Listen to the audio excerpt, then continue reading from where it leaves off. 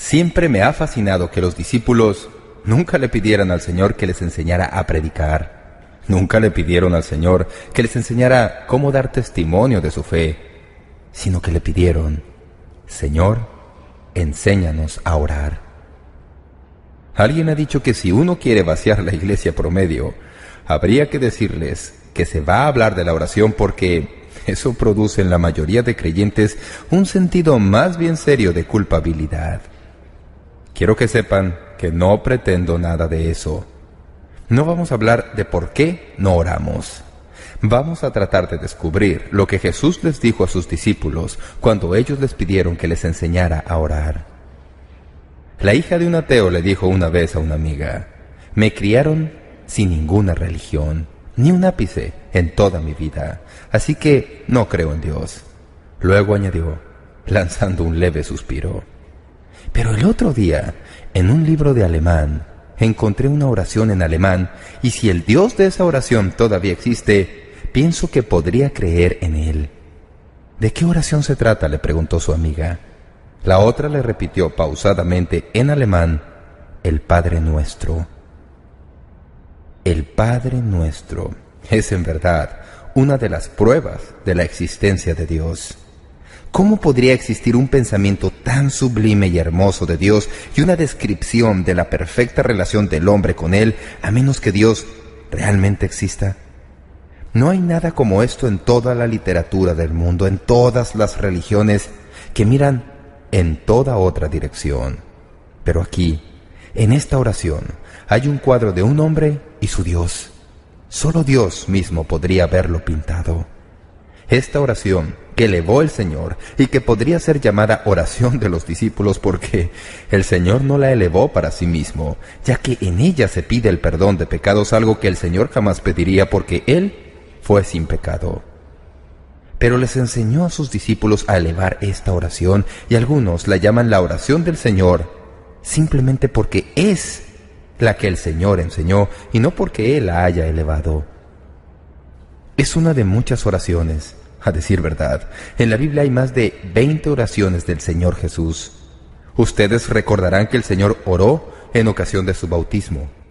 Cuando las multitudes empezaron a presionarlo en Capernaum, la Biblia indica que él se levantó muy de madrugada y se fue a orar. Cuando contemplaba la selección de los apóstoles, pasó la noche anterior entera en oración. Podríamos añadir a esto su gran oración sacerdotal, registrada en Juan 17. Hay muchas otras ocasiones. Probablemente la que con más frecuencia recordamos en época de Semana Santa es su oración en el Getsemaní, que fue breve, pero muy intensa. Pero la más familiar de todas las oraciones asociadas con el nombre del Señor Jesús es la oración que llamamos el Padre Nuestro, y que nuestro estudio del Sermón del Monte es lo próximo que sigue en el capítulo 6 de Mateo. Al empezar hoy esta serie sobre el Padre Nuestro, pienso que debemos tomar unos momentos para pensar en el lugar que esta oración ha ocupado en la historia del cristianismo. En ocasiones, en nuestros cultos, dirijo a la congregación a repetir el Padre Nuestro. No necesitamos las palabras ante nuestros ojos, inclinamos nuestra mente y cerramos nuestros ojos, pero cientos elevamos esa oración en voz alta y al unísono, porque la sabemos de memoria la hemos elevado antes, la hemos aprendido. Es liturgia común en nuestras iglesias, es el recuerdo más temprano del niño. Cuando estaba en la escuela primaria tenía una maestra que se llamaba la señora Gadel. Fue mi maestra en tercer grado. Y recuerdo como si fuera ayer que todos los días al empezar la clase, la señora Gadel nos hacía ponernos de pie y repetir el Padre Nuestro en la escuela pública. A veces oímos que repiten el Padre Nuestro en las bodas. Con frecuencia es repetido junto a la tumba, al darle nuestro último adiós a alguien. A veces es repetido por las familias antes de las comidas. Conozco a algunas personas que lo repiten antes de irse a la cama por la noche. Una oración con apenas 75 palabras es la oración más conocida en el mundo. Las mentes más ilustres de la iglesia cristiana siempre han sabido esto. Como resultado del Padre Nuestro, se han escrito centenares de libros, se han compuesto cantos preciosos, sermón tras sermón ha sido predicado sobre el Padre Nuestro. Andrew Murray dijo una vez que es una forma de oración que se vuelve modelo e inspiración para toda otra oración y sin embargo nos atrae de vuelta a sí misma como la más honda expresión de nuestras almas delante de Dios, el Padre Nuestro. A veces la gente incluso trata de usarla para sacar provecho. Oí hace poco una historia de un ministro que estacionó su coche en una zona de no estacionar en una ciudad grande. Andaba atrasado y no pudo encontrar un espacio vacío, así que se estacionó en zona prohibida y puso sobre su parabrisas una nota que decía, he dado diez vueltas a la manzana. Si no me estaciono aquí, perderé mi cita. Perdónanos nuestras deudas. Cuando volvió, encontró una multa que le había impuesto un agente de policía, junto con una nota que decía, he recorrido esta calle por diez años. Si no le impongo una multa, perderé mi trabajo. No nos metas en tentación. Así que la gente trata de usar el Padre Nuestro para casi cualquier cosa. La mayoría de nosotros, para ser francos, luchamos no solo respecto a cómo orar, sino que tal vez luchamos como muchos otros a través de los años con el solo pensamiento de la oración. Si me permiten hablar teológicamente por unos momentos, la mayoría de ustedes saben que a través de los años en toda la iglesia cristiana es posible encontrar dos ideas distintas respecto a la soberanía de Dios. Por un lado, podemos encontrar a los calvinistas y por otro, a los arminianos. Esos son los nombres de los que fueron paladines de los dos procesos de pensamiento. Los calvinistas dicen estar muy comprometidos a la soberanía de Dios. Dios está a cargo. Los arminianos se inclinan hacia el libre albedrío del ser humano, así que la batalla ruge. Algunos me han preguntado qué soy yo.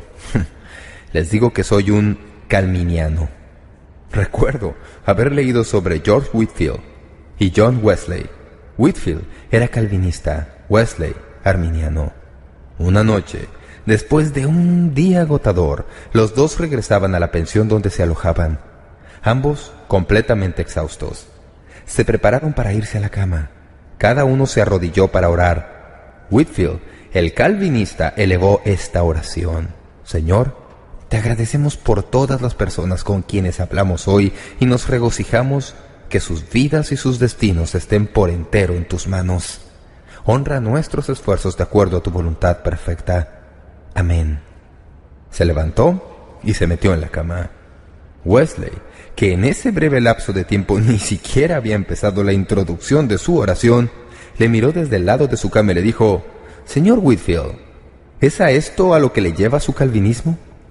Volvió a inclinar su frente y siguió orando. Se quedó en la cama y se quedó dormido. Como un par de horas más tarde se despertó y vio a Wesley todavía de rodillas junto a su cama. Whitfield se levantó, se fue a la cama donde Wesley estaba arrodillado y al acercarse encontró que Wesley estaba dormido.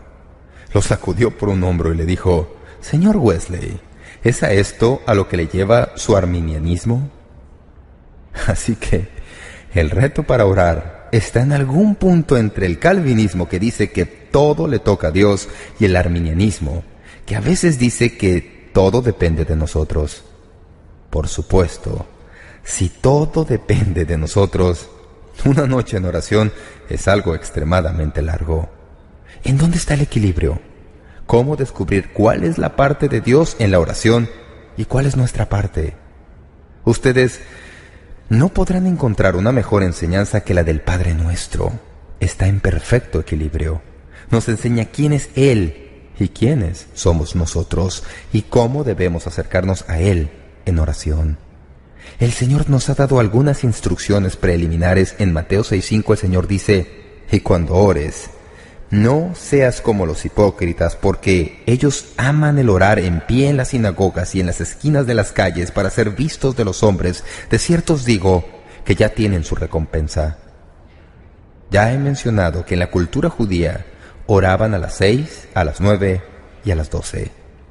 Los hipócritas solían planear su día de modo de que a las 3 de la tarde pudieran estar precisamente en la sección más llena de la población. Se detenían y rodeados de toda la gente levantaban sus brazos, elevaban oraciones floridas, conmovedoras, y la gente decía, vaya, qué maravilloso y consagrado debe ser este hombre.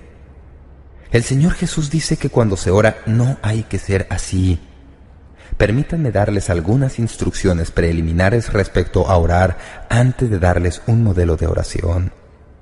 Dice que no seamos como los hipócritas, porque la oración hipócrita se concentra en la posición en lugar de en la piedad. Había quienes gustaban de orar de pie en las sinagogas y en las esquinas de las calles, exhibiendo públicamente su piedad, tratando de ganarse la reputación de gran espiritualidad. Pero esa no es la manera de orar. Si usted va a orar, por favor, comprenda que hay una manera de orar y una manera de cómo no orar. No sea como los hipócritas. La oración hipócrita se concentra en el reconocimiento en lugar de la recompensa. El doctor G. Campbell Morgan, uno de los grandes predicadores de una generación pasada, dijo, los cristianos debemos llevar la cuaresma dentro de nuestros corazones y una Pascua eterna de resurrección en nuestras caras. Lo que quería decir es que no debemos andar exhibiendo algo que no es cierto, Debemos siempre ser genuinos en la manera en que nos acercamos a Dios en oración. Para mí es interesante, al observar esta oración y al leerla con detenimiento, descubrir que el Señor se ha ocupado de cada uno de los retos para evitar la oración hipócrita. Por ejemplo, dice que entre en su recámara. Si usted entra en su recámara, no puede estar orando ante los hombres. Ha dejado a todo mundo afuera. El único que le va a escuchar es el único a quien debería estarle orando. Luego dice que ore al Padre, no a otros. A menudo la oración no va dirigida a Dios, sino que es una exhibición para la gente que está oyendo. Cuando usted entra en su aposento y cierra la puerta, el único que está ahí es el único con quien debiera estar hablando. Así se libera de toda tentación de hacer exhibición y de adoptar posturas ante los hombres. Ore a su Padre que está en secreto. Jesús dice cosas bien fuertes en cuanto a los hipócritas que elevan oraciones. Dice que no se haga así. Alguien ha dicho que muchos cristianos son como la gallina vieja que se va a un lugar secreto para poner sus huevos, pero que después, con todo su cacareo, anuncia dónde ha estado y lo que ha estado haciendo. El Padre Nuestro no es una oración egocéntrica. Usted tiene que llegar hasta la mitad de la oración antes de pensar en sus necesidades. Incluso cuando piensa en sus necesidades personales, no son personales suyas, sino en plural, en el sentido de que no es Padre mío, sino Padre nuestro. No es mi pan cotidiano, sino nuestro pan cotidiano. No es perdóname mis deudas, sino perdónanos nuestras deudas. No es no me metas, sino no nos metas. La oración en sí misma está lejos, lejos de ser egocéntrica. A veces Dios debe sentir que nosotros le consideramos como el botón celestial. Dios, esta es la lista de lo que necesito hoy y lo quiero antes de las cuatro de la tarde. Entramos a su presencia sin comprender que primero que nada la oración se centra en Dios. Hay una maravillosa ilustración de esto en el relato que nos da Lucas del publicano y el fariseo. Dice que el fariseo fue al templo y puesto en pie oraba consigo mismo. ¿Cuántas veces nosotros hacemos lo mismo? Nos olvidamos que la oración es primero y primordialmente oración a Dios. Un pastor recibió una vez una llamada de alguien a quien nunca había visto. Había una crisis en la comunidad y no podían encontrar a su propio pastor. La persona que le llamaba le preguntó si podía ir al hospital y visitar a un hombre que estaba agonizando. El pastor fue y halló al hombre en su cama, con una silla al lado. El enfermo le dijo, voy a morir, lo sé, pero antes de morirme quiero hacerle una pregunta. Tengo que hacérsela a alguien. Hace unos años estaba luchando con mi vida de oración y alguien me dijo que me serviría si recordara que la oración es una conversación, una conversación íntima con Dios. Me sugirió que colocara una silla en donde iba a orar y que me imaginara que tenía una conversación con el Señor Jesús y que el Señor estaba sentado en esa silla. Así lo he estado haciendo. A veces, aquí en el hospital, oro por más de una hora, recordando que Jesús está ahí. Está bien hacer esto. El pastor le dijo, no solo está bien, pienso que deleitará el corazón de Dios saber que usted ha pasado de la oración a la conversación personal. Conversaron y oraron. Pocos días después, el pastor recibió una llamada de la hija del hombre para informarle que su padre había muerto y que querían que él oficiara el funeral. Entonces le dijo algo muy extraño. Cuando encontramos a papá muerto en el hospital, tenía su cabeza apoyada sobre una silla. El hombre había llegado a comprender lo que es la esencia del Padre Nuestro, que la oración es conversar con el Padre Celestial, conversar con el Señor. Es una relación personal. Si usted fuera a ver a la persona que más quiere en la vida y en lugar de comunicarse de una manera normal y natural, empezara a hablar pomposamente y adoptar posturas extrañas, su relación seguramente se deterioraría. Es más, probablemente se acabaría. Usted no va a su casa y dice, Oh, vuestra merced y más maravillosa esposa, ¿cómo os has dignado de bendecirme hoy? No estoy tratando de hacer burla. La oración es íntima y personal. Es una relación personal. Dios quiere que nos comuniquemos con Él. Luego el Señor Jesús dice, cuando ores, no ores como los paganos. Dice en el versículo 7, y orando, no uséis vanas repeticiones como los gentiles que piensan que por su palabrería serán oídos. No os hagáis, pues, semejantes a ellos, porque vuestro Padre sabe de qué cosas tenéis necesidad antes que vosotros le pidáis. ¿Cómo hacemos nosotros esto? A veces en nuestras oraciones usamos palabras como signos de puntuación. Cuando usted habla con un ser querido, no le dice, ahora Diana, tenemos que ir de compras, Diana. Sí, querida, tenemos que ir de compras, Diana. Tenemos que hacerlo, Diana, y hacerlo hoy, Diana. A veces, cuando oramos, usamos las palabras Jesús, Padre, Señor, como signos de puntuación. Suena como rezo. Dios quiere que hablemos con Él de la misma manera como hablamos con las personas que más queremos en la vida. Dios anhela esa clase de relación personal con los suyos. A veces oramos hipócritamente en nuestras iglesias con repetición y perdemos el énfasis. Al principio de mi pastorado ministré a muchas personas que venían de iglesias litúrgicas. Pienso que hay algo provechoso en la liturgia de muchas iglesias, pero uno de los retos de la liturgia, uno de los desafíos de un libro de oración, es que puede convertirse en algo de costumbre en algo prescrito. En muchas iglesias hay un libro que tiene solo oraciones. En ese libro hay una oración para cualquier cosa que usted pueda necesitar. Alguien que era bueno para las palabras las ha escrito. Uno puede llevarlo consigo y puede leer una oración. No digo que haya algo de malo en esto, si brota de su corazón y representa lo que usted realmente siente. Pero ¿Ven ustedes lo fácil que es tomar eso y convertirlo en vana repetición, simplemente recitándolo a fin de elevar un rezo? Hay gente que piensa que tiene que encender una vela y repetir una oración y que mientras la vela arda, la oración está siendo elevada a Dios. No hay ninguna evidencia de esto en la Biblia. Tal costumbre solo añade a la oración una dinámica de repetición y nos aleja realmente de la relación personal que Dios quiere que tengamos al orar. Dios busca a los que le adoran en espíritu y en verdad y anhela que usted converse con Él. Dios quiere que usted ore. Ore fervientemente e invóquele como su Padre Celestial. En el Tíbet, hay millones que escriben sus oraciones en hojas de papel y usan molinillos para hacer girar esas oraciones en ruedas, que se supone que presentan las oraciones ante sus dioses y supuestamente cada vez que giran los papeles el dios oye la oración. En algunas partes de Latinoamérica los indígenas hacen figuras para expresar sus necesidades, imágenes de maíz, cactus o niños. Se supone que el poder de la oración reside en pronunciar en voz baja una cierta combinación de sílabas como si fuera un conjuro o mantra. Alguien ha dicho que una frase llena del deseo del corazón es más preciada para Dios que una hora de ensayar palabras y frases sin ningún sentimiento sincero.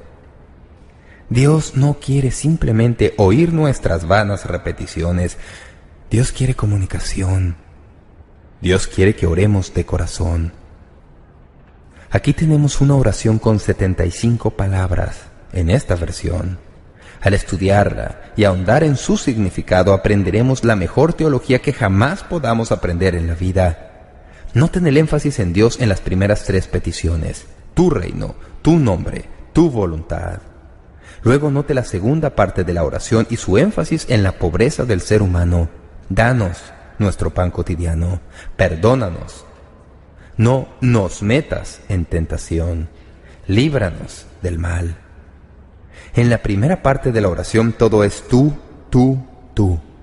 En la segunda parte todo es nosotros, nosotros, nosotros. Dios tiene toda la gloria y todo el poder, toda la majestad. Y usted y yo tenemos todas las necesidades y deseos y toda la pobreza. Dios lo tiene todo y nosotros no tenemos nada. Es maravilloso poder venir con las manos vacías a aquel que tiene la capacidad de darnos todo lo que necesitamos. De eso se trata la oración. Eso es lo que esta oración les enseñará y ustedes aprenden a orar según ella. Al avanzar en la oración descubrirán que es una especie del ciclo de la vida. Empieza con alabanza, santificado sea tu nombre. Pasa de la alabanza a las prioridades, venga tu reino, hágase tu voluntad como en el cielo, así también en la tierra. Luego habla de provisión, el pan nuestro de cada día, dánoslo hoy. Luego habla de las relaciones personales y perdónanos nuestras deudas como también nosotros perdonamos a nuestros deudores. Entonces habla de protección, y no nos metas en tentación, mas líbranos del mal. Finalmente nos da una promesa, porque tuyo es el reino y el poder y la gloria por todos los siglos. Amén. El doctor Ruben Torrey, quien ha escrito algunos de los mejores libros sobre la oración que todavía se publican, dijo que podía recordar el tiempo cuando pensaba que su vida de oración nunca alcanzaría el vuelo. Se crió en una familia cristiana en donde se le enseñó a orar desde niño, como muchos otros nos hemos criado. Pero dijo que la oración era más cuestión de repetición y forma. No se pensaba en Dios, ni en un real acercamiento a Dios. Incluso cuando me convertí, sí, incluso después de que entré al ministerio, la oración era en su mayor parte cuestión de forma. He conocido a muchas personas así. Fue igual para mí por muchos años. Torrey sigue diciendo, un día me di cuenta de lo que realmente significaba la oración. Caí en cuenta que la oración era tener una audiencia con Dios, entrar en realidad a la presencia de Dios y pedirle cosas y recibirlas de Él. Ese darme cuenta de ese hecho transformó mi vida de oración. Antes de eso, la oración era nada más que una obligación y a veces una obligación fastidiosa. Pero desde el momento en que aprendí de corazón que la oración era entrar en una habitación y cerrar las puertas y tener una conversación con el Dios Todopoderoso, ya no fue ¿cuánto tiempo vas a orar? Y obligarme a la fuerza a pasar una hora en oración, sino que llegué al punto en donde tenía que cuidarme para no dejar que la oración ocupara todo el resto del día, porque hablar con Dios llegó a ser algo muy especial. El Padre Nuestro nos recuerda que Dios anhela que los suyos se comuniquen con Él, no solo en los templos los domingos. Muchos de ustedes oran cuando se dividen en grupos pequeños en la iglesia, en las casas de estudio bíblico, en el ensayo del coro.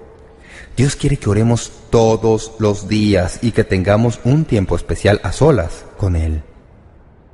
Ya les he mencionado que en días recientes una de las cosas que me han ayudado a tener más cuidado al respecto es periódicamente escribir mis oraciones a Dios como si le estuviera escribiendo una carta para decirle lo que tengo en el corazón. Descubro que cuando lo hago así, pienso con todo detenimiento en mis palabras y así, ese tiempo se convierte en momentos muy especiales.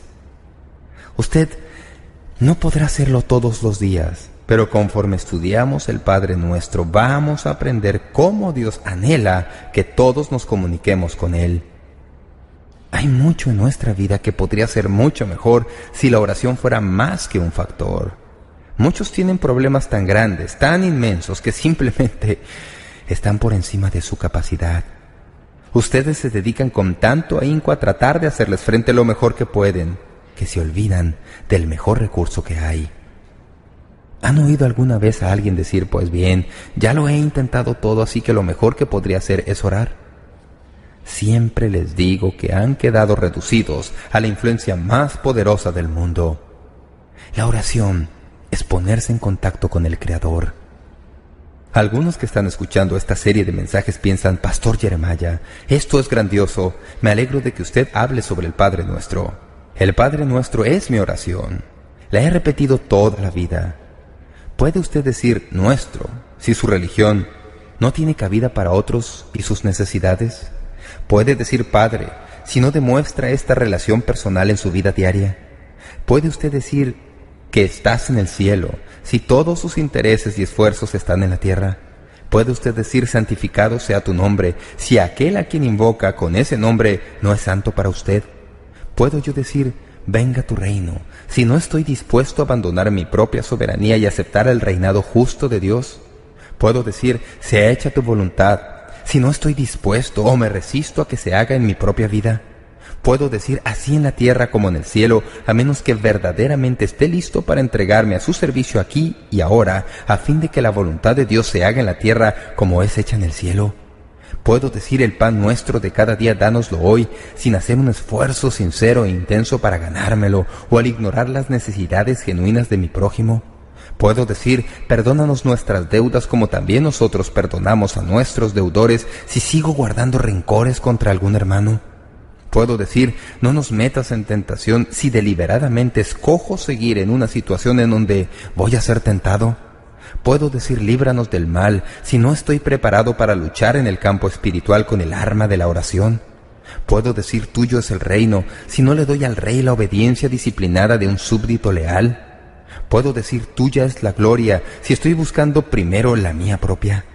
Puedo decir, por los siglos de los siglos si estoy lleno de ansiedad todos los días puedo decir amén, a menos que con toda sinceridad diga, cueste lo que cueste, esta es mi oración. Hay mucho más en el Padre nuestro que solo repetirla como oración. Esta oración, si la captamos con nuestros corazones y mentes, cambiará nuestras vidas. Si llegamos alguna vez al punto en que con toda sinceridad, con integridad, en forma creíble, podamos elevar el Padre Nuestro en todo lo que significa, empezará el próximo gran despertamiento espiritual en los Estados Unidos, en su país y en todo el mundo, porque esta oración se halla en el mismo meollo de lo que Dios es y de lo que Él anhela que sus hijos sean. El Padre Nuestro. En un hospital, hace años, se hallaba moribundo un joven, y el capellán del ejército vino para orar con él en sus visitas regulares. Algo en el corazón del capellán le llevó a elevar el Padre Nuestro, y así, mientras que el joven soldado, herido mortalmente, exhalaba casi por última vez, el capellán se arrodilló junto a la cama y oró con todo fervor, Padre Nuestro, que estás en los cielos. Cuando terminó, notó que los ojos del joven soldado estaban llenos de lágrimas. El capellán trató de hablarle de su necesidad de Cristo.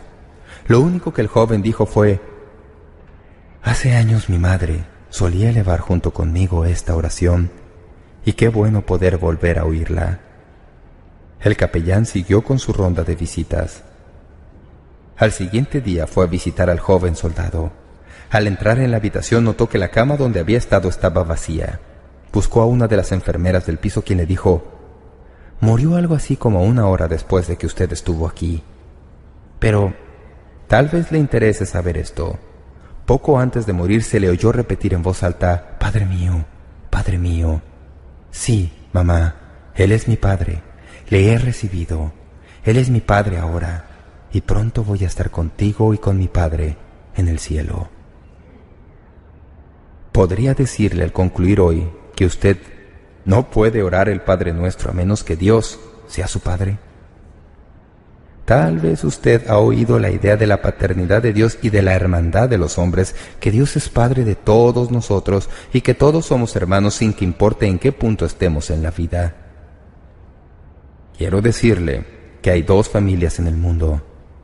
Tenemos la familia de Dios y la familia del diablo. Y mientras usted no nazca otra vez, usted no ha nacido en la familia de Dios. Hay muchas personas que han vivido toda su vida sin conocer personalmente a Dios, que han orado el Padre Nuestro, pero las palabras no han salido del techo, porque usted no puede decir Padre mío si Dios no es su Padre. La manera en que Dios llega a ser su Padre es si usted pone su confianza en lo que Él le da en la persona de su Hijo Jesucristo y le recibe como su Señor. La Biblia dice que cuando usted hace eso, llega a ser hijo de Dios, nace en su familia y llega a ser un hijo o hija de Dios. Si usted nunca ha nacido en la familia del Padre Celestial, entonces el Padre nuestro no es para usted. No todavía. Pero hay una oración que es para usted y es algo así como esto. Dios, sé misericordioso a mí, pecador. Dios, perdóname mis pecados y dame la dádiva de la vida eterna. Si usted eleva esta oración, entrará en la familia del Padre, y entonces el Padre nuestro es suyo.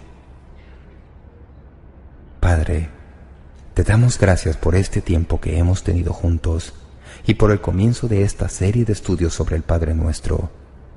Te damos gracias que aunque a veces no lo entendamos, tú estás cerca de nosotros y con nosotros, y cuando oramos, tú estás ahí y escuchas nuestra oración y deseas que tu pueblo se acerque a ti, no con palabras elocuentes, no con una fórmula complicada, sino, Señor, a acercarnos a ti así como tú eres, nuestro Padre que estás en el cielo. Señor, te alabamos hoy y te damos gracias que estés en el cielo para nosotros y que el Señor Jesucristo esté a tu diestra intercediendo por nosotros. Te damos gracias, Señor, que podamos acercarnos a ti y recibirte como nuestro Salvador y nacer en tu familia, como muchos ya lo hemos hecho.